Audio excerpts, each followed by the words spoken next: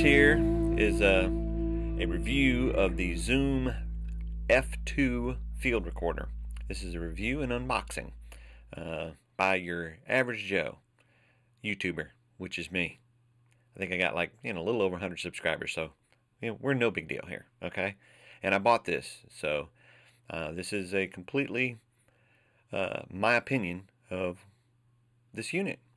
Uh, mainly the reason I bought it is because I was intrigued by the fact that they said that you don't have to set the gain on it. Uh, you can just literally plug it in, turn it on, and then you can, it will not clip. So we're going to test that out today. We're going to find out if it will or will not. and, and what it sounds like. You know, does it sound good? Is it an ad? Is it not an ad? Did I waste my money? I don't know. we'll find out. I hope not. um, but anyway, so this is the Zoom F2. I'll show you a close up of it. Well, I can get my, obviously,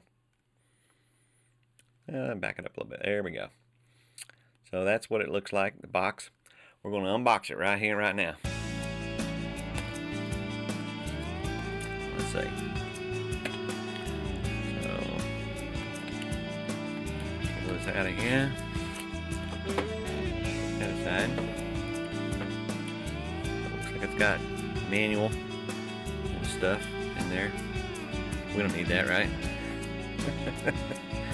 uh, looks like it's probably the unit, a little unit inside there, and uh, wires, and uh, little clip, and windscreens. All right, so let's get this thing out of here and put it together and see what we can figure out. Okay, so we got the different parts and pieces out. This is the unit that was inside the, put it in the light a little bit better. Put it in the other camera. So that's the unit.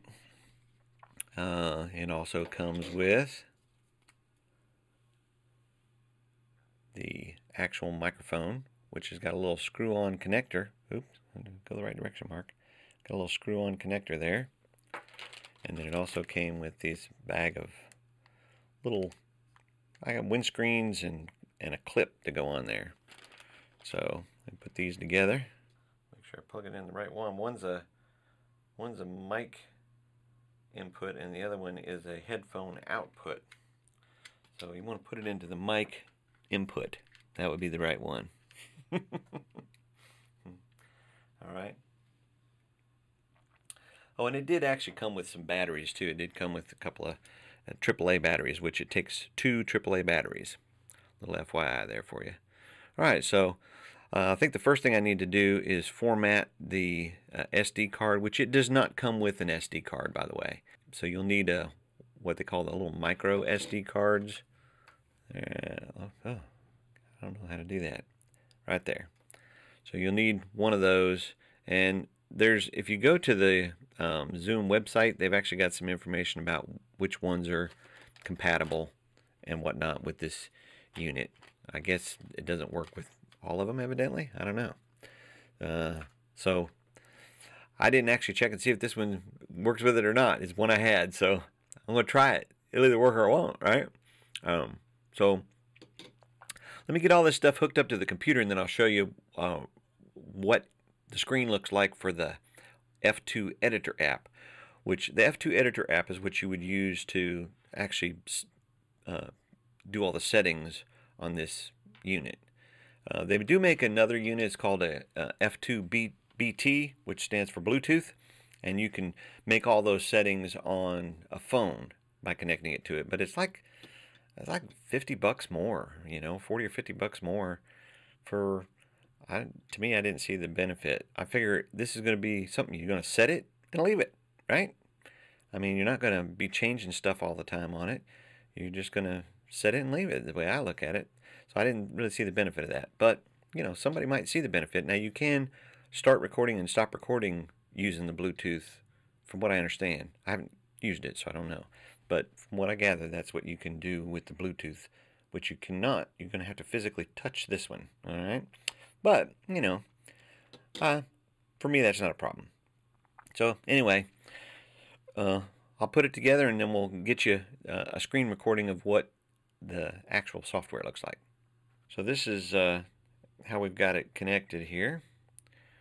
Uh, this is just a USB-C cable going straight into the Mac and uh, that's how we got it hooked up. Alright, so this here is the Zoom F2 editor software and as you can see it shows connected to it and uh, it looks like you have a low cut filter which you can turn off or on.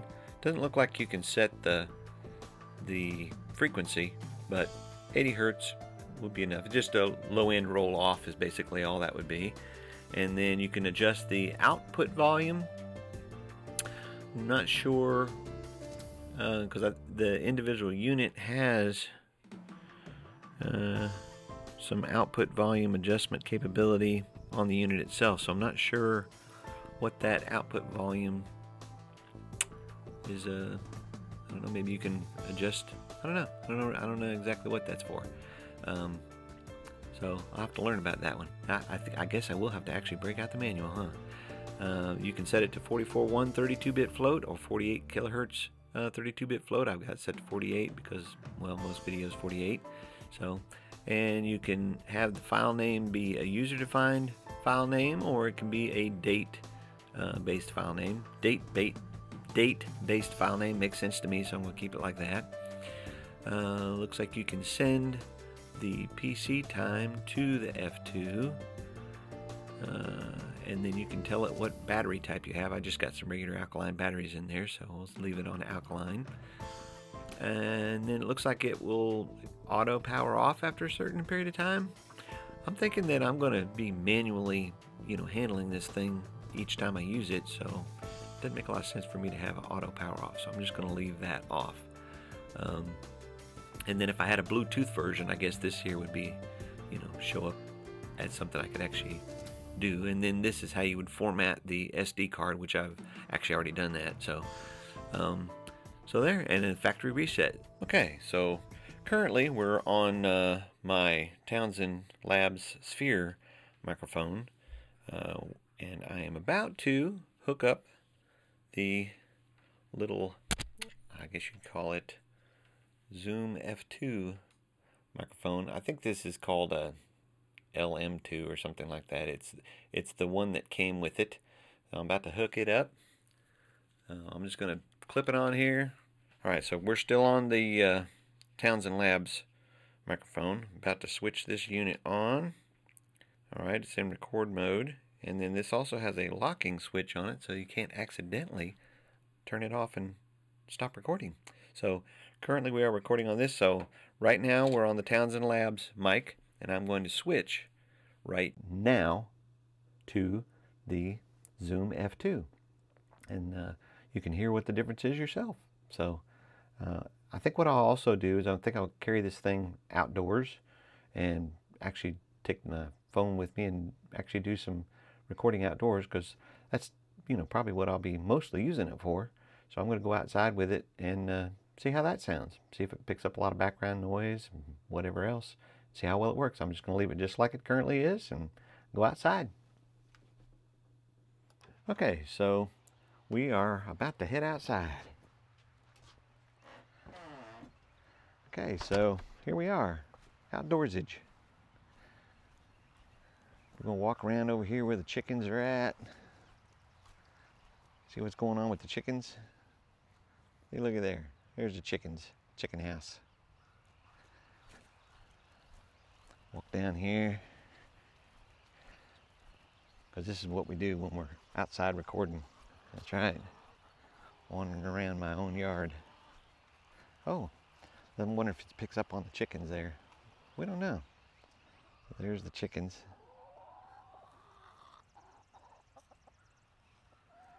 Gotta love them. So we're to do us a, a shouting test to see if this thing can clip or not. Because we want to know. Will it clip? We don't know. We're to find out. Hey! Hey! Hey! What I have here is I've got the two 32-bit float files that were recorded by the F2 field recorder. Basically what I did is I brought them in here and tried to kind of level match them uh, and I'll try and kind of you know keep everything around the same levels. Uh, it's not going to be an exact science, but pretty close. These here are running around uh, around negative 12 dB, somewhere around in there where they're kind of peaking at. Every once in a while, I get a little bit over. Um, but the really loud portion is actually right here. And uh, that one there, I had to reduce the overall signal level by uh, negative 13.4 dB in order to get it down to somewhere reasonable. For me, I hear clipping in there.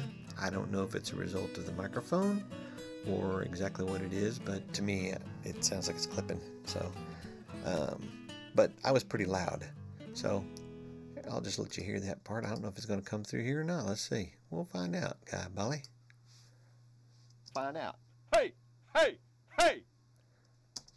So that is, uh, you know, not loud, but the signal is in my ear to my ears sounds clipped, and um, all I did was reduce the volume. So technically, what's supposed to happen is you're supposed to be able to have enough um, volume uh, room there to pull it down and it won't clip. It's supposed to be way, way, way above uh, where it could clip at. So I don't know, you know, theoretically it should work, but it doesn't sound to me like it worked perfectly. Now I was, you know, in honest, all honesty, I was very loud, um, but uh, you know, probably much louder than what anybody would typically be. So probably under most circumstances it would be fine.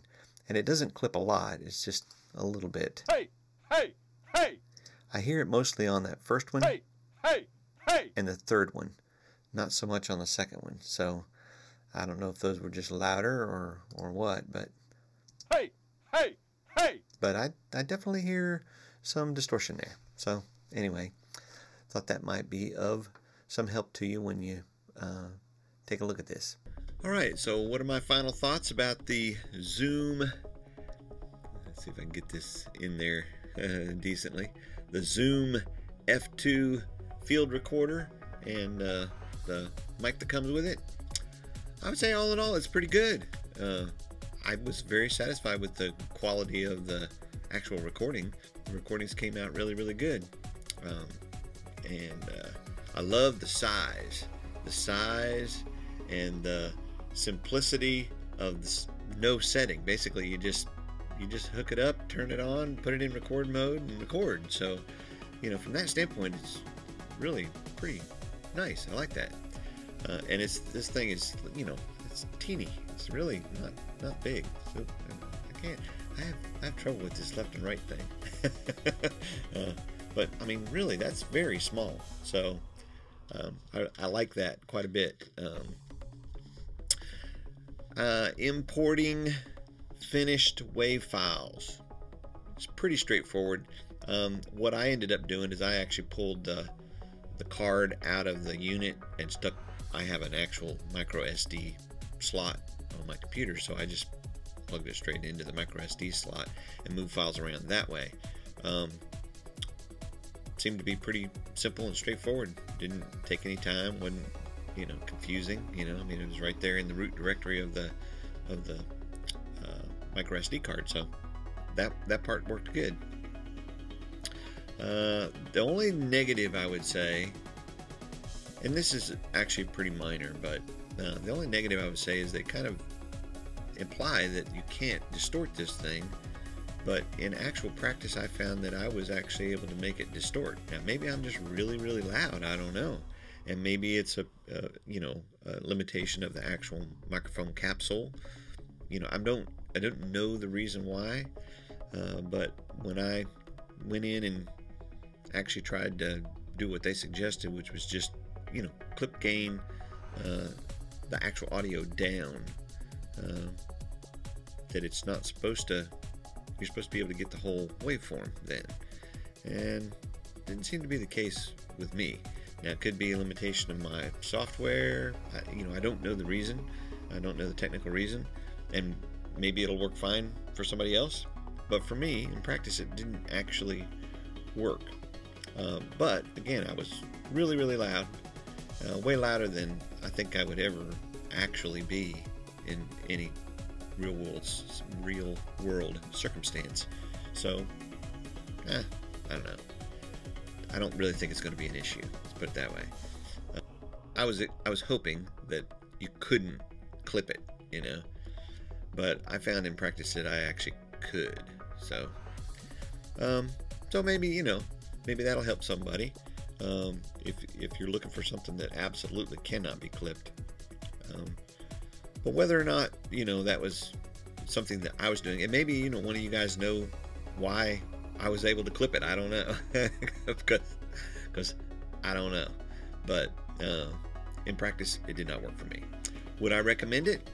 Yes, I definitely would recommend it. I think it's I think it's a, I mean, that gone. You know, look how small that is. You know, I mean that is that's small, and and it works. You know, so it's small. It works. The it, the audio quality is good, um, and they're not terribly expensive. I think this one here was 159 I think you know now the Bluetooth version I think is a little bit more. I want to say it's right around 200 uh, but you know and if you need that functionality then you know by all means. But I just didn't feel like it was necessary. I was looking for something simple and this is simple and I like it. So for that very reason yes I would recommend it. All right thanks. Hope you enjoyed this. And if you did subscribe. And if you liked it, hey, click on like. We like it. Thanks. Bye.